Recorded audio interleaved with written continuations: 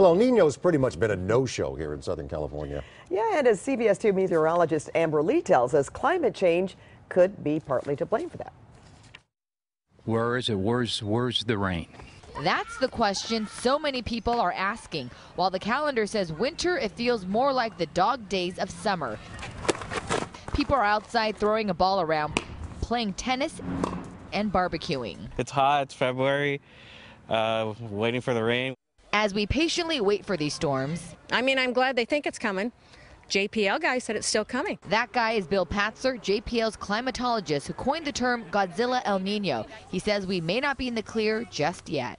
Often these El Ninos come on in late winter, early spring.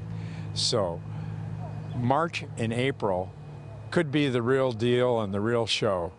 Unlike the El Ninos in the past, Patzert says this El Nino is one of the longest and largest weather events ever recorded. He also says climate change has a lot to do with the impact of El Nino, from the frequency to the intensity. And of course, that's what we're doing here at JPL.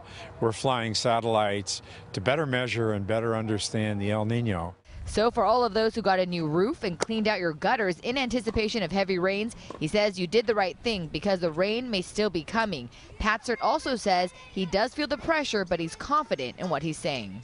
Everybody greets me the same. Where is the rain? All right. But I'm tough. I can take it, you know, because I know that March and April have a high potential for rain. Let's hope in the next couple months we'll see and proof that we'll have some moisture over here and some rain. We certainly could use it down here. In Pasadena, Amber Lee, CBS 2 News.